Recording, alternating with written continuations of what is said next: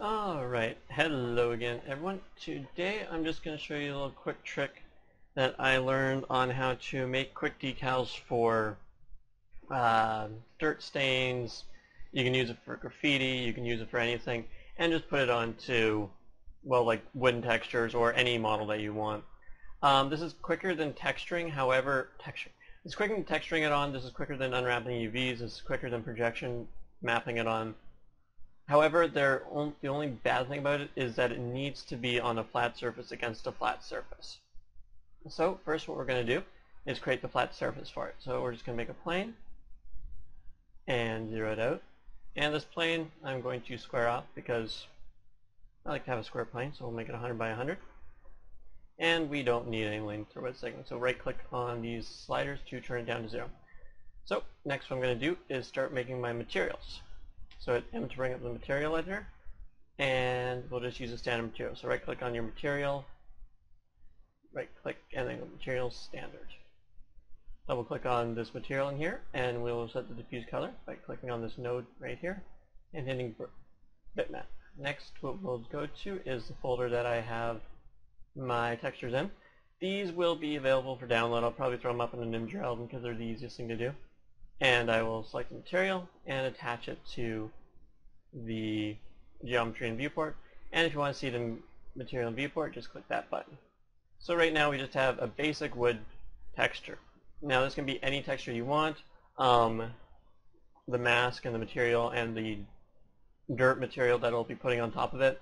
You can replace those with your own materials. This is just for purposes that I will make these ones. So next what I will be doing is I will show you the how to make the dirt material. So this will be your model that you have and then you want to put a decal on it. Next what you want to do is create another plane that will hold your decal. So we'll create a plane and we'll make this one about 30 by 30. So it's pretty small. Bring it up and first what we want to do is on our object properties, so right click object properties, we'll not cast shadows. We will receive shadows though. So as you can see now we'll not cast shadows. However, the reason we receive shadows is, I'll show you a bit later, but if we didn't receive shadows, anything that would go on top of this would not have any shadows and it would look kind of awkward. So when object properties and turned off receive shadows, it looks awkward.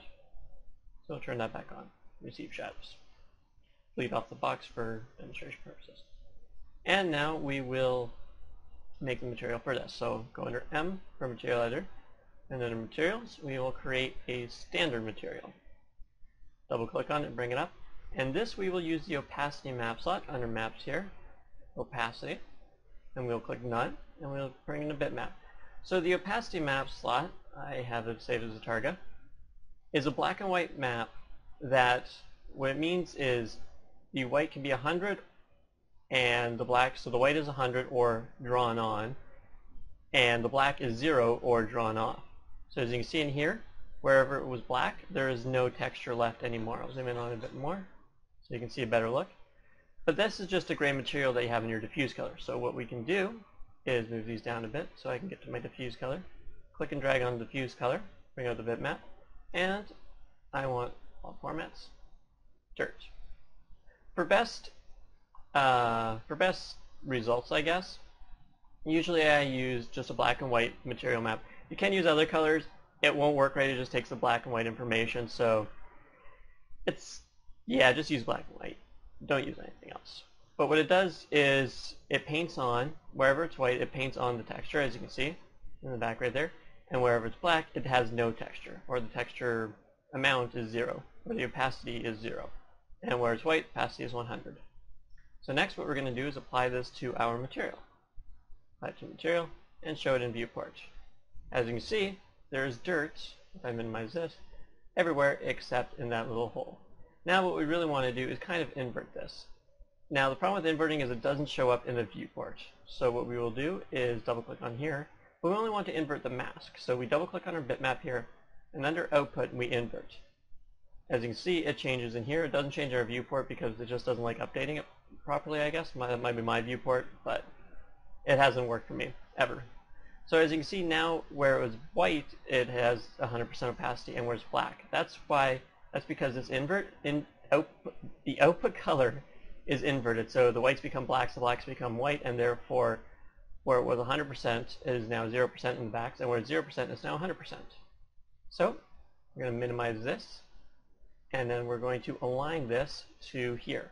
Now I could align it by snapping it down, snapping it down like that, but I don't want to do that. What I want to do is hit my quick align tool, so right here. If you don't see quick align, hold down, and then you'll see this one with the little, I don't know, lightning bolt there, and you would click on here. Now it's quickly aligned to that. What I want to do now is offset it just a touch, because if I render this out now, you'll see some interdependence, not interdependence. You'll see some uh, artifacts because these two are in the exact same plane. So I'm going to move it up very slightly in the Z. So point, point zero zero one. You can, can't even tell, but you can tell.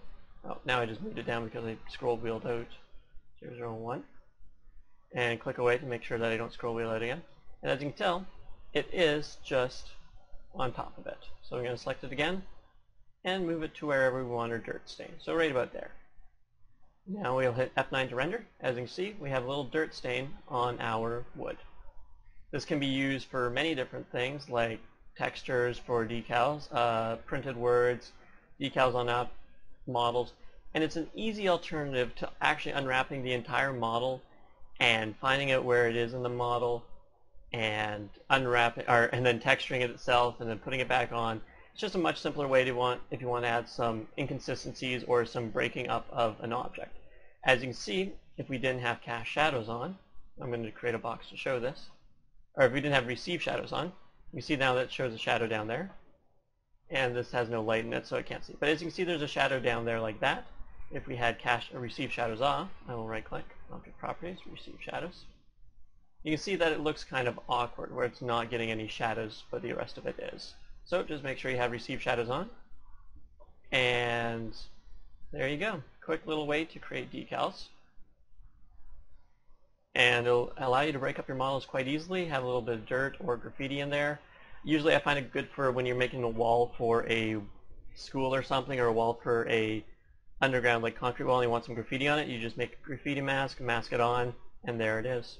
So I hope you enjoy and I hope you learned something new on how to create a decal for objects in 3ds Max using the opacity mask.